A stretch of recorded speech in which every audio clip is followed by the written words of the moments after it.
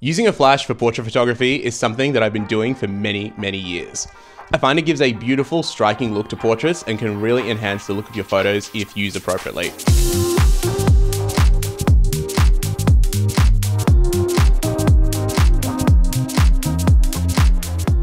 In this video, I'll go over a few flash techniques that I've used over the years, to what kind of settings to use, to how to edit flash photos to look better, and give you my flash recommendations and also tell you my secret sauce to getting great looking flash photos that don't suck. Now, Using a flash can be a great way to get moody nighttime portraits and can help with emulating an old point and shoot film camera aesthetic. But there are other ways you can use a flash to help with making your portrait photo stand out. So firstly, let's talk about what kind of flash you should use. And the truth is, almost any flash with some sort of manual control will do great. You don't need anything super fancy to take good flash photos. There are also a few different flash categories. So you've got the small flashes, which for my Fujifilm, I love the EFX20. It's tiny, powerful, and has heaps of manual control. Although, unfortunately, this was discontinued by Fuji and now commands exorbitant prices on the used market. So I would avoid it unless you can find a good deal on a used one.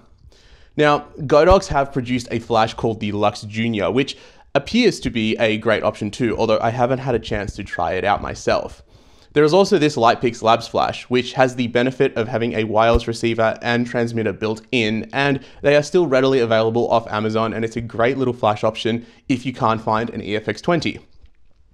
Next up, there are bigger speedlight style flashes. So when I shot on Canon, I used a 600EX RT and I found that flash to be great, well made, and an excellent performer. But now with Fuji, I use the Godox V1F and I absolutely love it. Its lithium battery means it has insane battery life and the recycle times are amazing too. It's also really well priced. You've also got like the Godox AD200 Pros, which are more um, like actual studio strobes that are in the shape of a um, in the shape of a speed light. I love these as well. I've got two of them too, and I find that you can actually create really, really incredible um, studio portraits with them, um, basically in any white room. Okay, so now now that you've bought a flash, let's discuss what camera settings you should use in order to get the best results out of it. So. When shooting with a flash, I like to keep the aperture at around f5.6 to f8. So this way you can get a lot in focus and it means that you can shoot quickly and not worry too much about missing focus. So this is especially crucial when shooting at night and when you want to get action shots, like for example at the beach. That said, shooting at a lower aperture and also subsequently lowering the flash power can really enable you to get more of your background in the shot, which can look amazing if you're at a beach with a beautiful backdrop and you just want your subject to be well lit because perhaps the sun isn't quite facing in the right direction. See, using flash can be an amazing way to overcome shit lighting conditions and it can really smooth out people's blemishes. It's why I love using it. It really hides many imperfections and makes people just look great, saving you time when editing. And for me, honestly, the more time I can save in editing, the better. so in terms of flash power, I find that less is usually more. If you set your flash to max power or one over one, it can be both extremely overwhelming for the subject and also cause your flash to take needlessly too long to recycle, meaning you are going through batteries and waiting for the flash to recycle far more than you need to be. For this reason, I typically keep the flash power at around 1 8th to 1 16th power, although if you're doing full body photos, crank it up to 1 over 2 or 1 over 4 and adjust your aperture and shutter speed to suit. So I typically keep my shutter speed around 1 125th of a second. Um, you don't need to go crazy high, and you can honestly even go a little bit lower if you want to introduce a bit of motion or light trails in your images if you sort of move the camera as well while you take the photo. Um, this used to be really, really popular with club photos, but I think now this trend has sort of died out.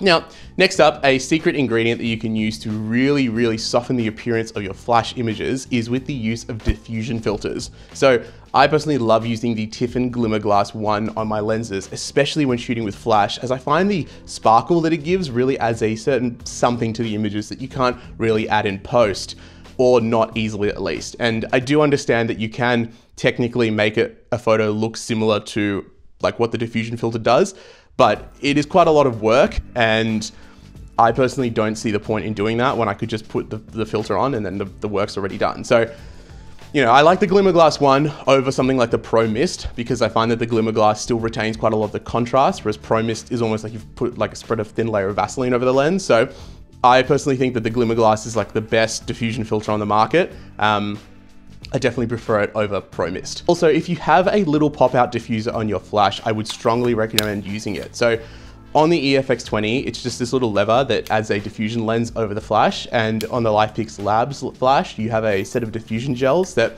you can slide onto the front of the flash. So almost every single flash unit should have something like this, and it's really, really good to avoid getting super harsh light coming from the flash itself. If you're finding these tips useful, be sure to subscribe to see more great photography content. Something I used to be very, very well known for was my portraits against white walls with flash, giving you that classic Supreme streetwear magazine look. And I find a lot of photographers trying to emulate this style and just failing because they simply think that putting the flash on top of the camera and firing gives you that look. But the easiest giveaway that someone doesn't quite understand how to do this style properly is to look at the harsh shadows caused by the location of the flash itself, as you can see in this example photo. But all right, how do I fix it? How do I make it look like this? Well, you need to bring the plane of the flash with the lens itself. See, this style is emulating the look of an old film point and shoot camera, and if you look at how an old film point and shoot camera is designed, the lens and the flash are typically on the same level as each other, whereas with a big modern mirrorless or DSLR camera and lens, plus a big speed light, they are just on two different levels entirely. So what is the solution? Well, you get yourself a flash mount. So they aren't the easiest things to find, but I will link one down below that I think is really, really good. And basically what it does is it moves the flash closer to the lens itself. And with the use of a flash cable, or if you want to go fancy, wireless receivers, you can achieve this look of proper film point and shoot flash.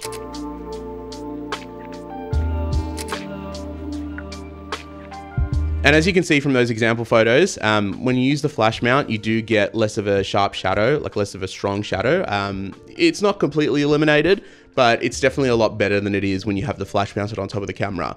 And I think that, like, I find personally that we're like with the X-T5, for example, um, if you use a sort of a smaller lens, you can actually get away with just using like an EFX20 on top of the camera. You don't need this whole flash rig contraption. I found that this flash rig, sort of like the flash mount, worked a lot better when I was using my old Canon 5D. So that was quite a large camera.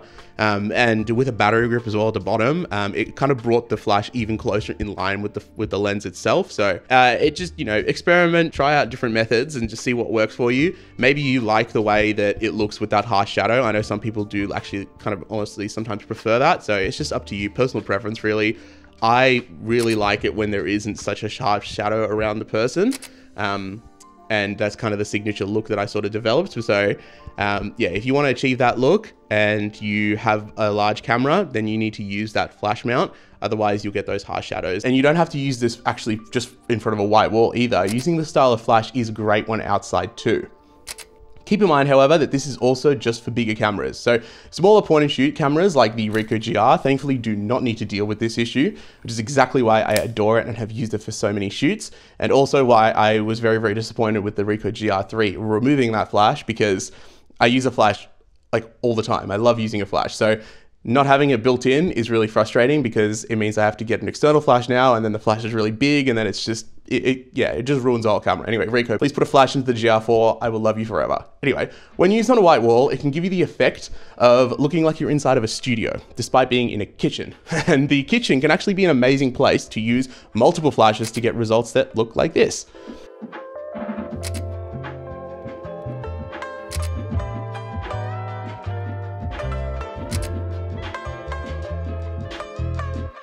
Despite being here a place which doesn't really look like a photo studio, but yet you can still achieve really, really cool results just, you know, off using just a couple different flashes. There's different techniques that you can do in order to get studio looking portraits in environments that don't look like studios. And if you guys are interested in me making a video on what I like to call kitchen portraits, you definitely be sure to let me know in the comments and I'll be sure to make something like that in the future. So you can also use a flash during broad daylight as well, but this is something where a camera with a leaf shutter can come in very handy. Seeing as most cameras can only flash sync up to a certain shutter speed, usually 1 250th on modern cameras, you'll either need something capable of high speed sync or a camera with a leaf shutter or a variable ND filter basically to use a flash outdoors is you'll need to crank your shutter speed up to around 1 2000th of a second or higher to ensure you're still getting a well exposed image. Or you can use a variable ND filter. But why would you use a flash in broad daylight? Well, like I mentioned earlier, a flash can really help even out unsavory lighting conditions and help with softening skin and making people look better. So don't discount using a flash during the day, it might just save your photos. Just to add on to the flash techniques that you can use, if you're shooting in harsh midday sun and you're having a little bit of trouble with getting well exposed images, try shooting with the subject facing with the sun basically behind them. So like directly behind them. And then you illuminate the like the front of them with the flash you can actually really create some really, really cool results. And I love doing it. And I'll, I'll include a few examples here as well so you can have a look. But this is going to be a really, really good way that you can be able to shoot portraits in midday sun um, and use the flash to your advantage in daylight situations. Next, let's discuss editing flash photos, what to do to get them looking good. So firstly, I really like to bring down the highlights to ensure that I'm not blowing any detail out. Then upping the contrast, blacks and shadows is also crucial in making sure you get nice punchy flash photos.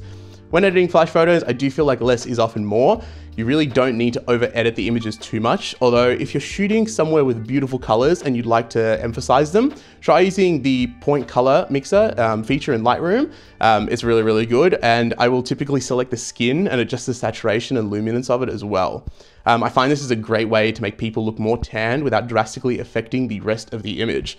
But if you're having trouble editing your flash photos, my new preset pack is a great way to get a head start in getting killer looking flash photos. So Nightlife 800 is literally designed for nighttime flash photography and Everyday 400 also looks great with a flash during the day.